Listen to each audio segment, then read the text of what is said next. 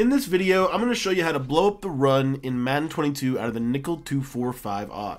What's going on guys? My name is Cody and I want to thank you for taking the time to watch this video. If this is your first time visiting my channel, be sure to click that subscribe button down below. It's completely free to subscribe to the channel. And like I said, if you're new to the channel, I just released my Nickel 245 odd defensive ebook. Now, if you haven't heard about it, I think this is probably the best defense in the game right now for a number of reasons. One of the reasons that I absolutely am in love with this defense is because of the pressure that it can send, but also uh, because of the alignment that you get and because of the personnel that you're able to get on the field. In the defensive ebook, we show you how to get um, safeties at every position and be able to get you know the, the most bang for your buck and the beauty of this is you still have the 335 wide that we have broken down earlier on in the season. We have a defensive ebook out on that as well. But anyways, let's talk about this 245 odd run defense. And this is something that I think people have been lacking. There's a there's two different run defenses that I want to show you today. Um, the first one is a little bit more passive, and the second one is a little bit more aggressive. So the play is pinch two. That's what we're going to come out in.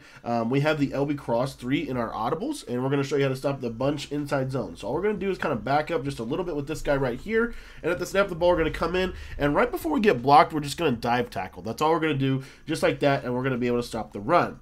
Now, if you wanted to spread your linebackers, you could certainly do that. And you'll see here that sometimes when we do that, they will get a little bit better of a look. But one other thing that you can do with this um, because we're facing gun bunch is you can bring these safeties down into the box just like this right here and then you're going to stand just like right in here and now you'll see we get a little bit of a cleaner shoot angle um, at that at that quarterback or at the running back so as you see there, that's one way that we can stop inside zone. Now the second way to stop inside zone is to go to the LB cross 3 show 2.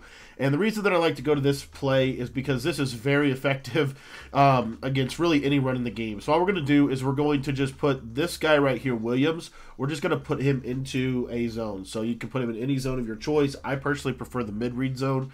Um, and then I like to shade my coverage down out of this. Now, normally this guy over here would be a safety, so he's not a coverage liability. Isaiah Simmons will be fine, but you know your average guy, your outside linebacker, you would not want to put him in coverage. But you're going to stand right here with your user, literally right here. And what you're going to see here is if they run the ball, you're going to basically get instant interior pressure. You're either going to get the looping uh, linebacker that's rushing. He's going to come into the A gap and get the and get the guy locked down. I like to show blitz out of this look, and the reason why is just because it brings this guy into the box because that's going to be my number one user on this play. So anyway, you're just going to stand literally right here. That's all you're going to do, and just come down here just like this, and there you see the looper comes in and he's able to blow up the run. This is my favorite run defense, especially for formations that I might not know how to stop. For example, let's go to the bunch wide flex. And what you'll see here is if we go to this LB Cross 3 Show 2 and they run the inside zone, um, it's very likely that they're, we're going to be in an advantageous position. So again, I'm just going to literally stand like right here and at the snap of the ball, the inside zone, you see they shoot in and they stop the inside zone. So this is my favorite way to stop the shotgun runs in the game. Now the cool part about this is you can you can apply uh, pressure from this defense as well. For example, if I wanted to send some pressure, I'll just globally blitz my linebackers and I'll just send five. And what you'll see from this, uh, real quick here, is this. Let me show you one more time. Let me get this set up.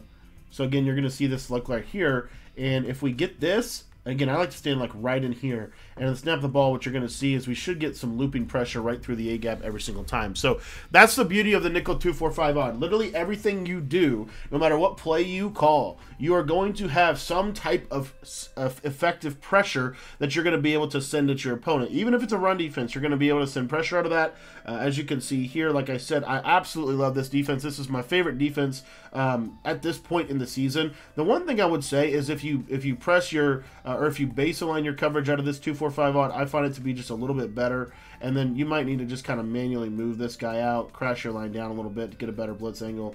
This guy's not cooperating with me, but let's see if I can get him just move him out here just a little bit.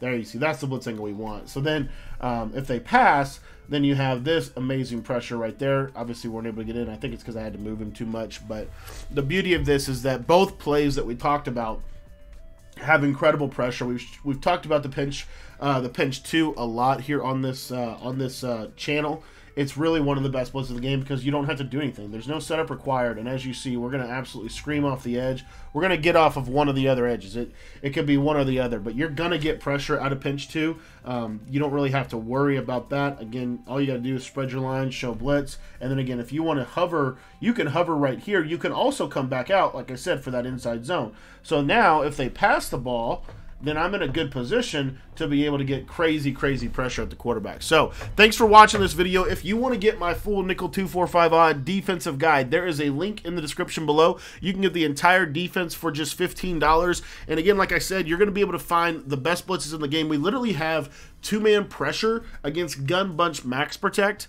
So that's insane on both sides too. Most people can only get this pressure to work on the left side. We're going to show you how to get it to work every bit just as good, if not honestly even a little bit better on the right side. Thanks for watching the video, and we'll see you guys next time. If you want to get the ebook, there's a link in the description. You can get it for just 15 bucks. Just click that link, take you over the website, and we'll get you all squared away.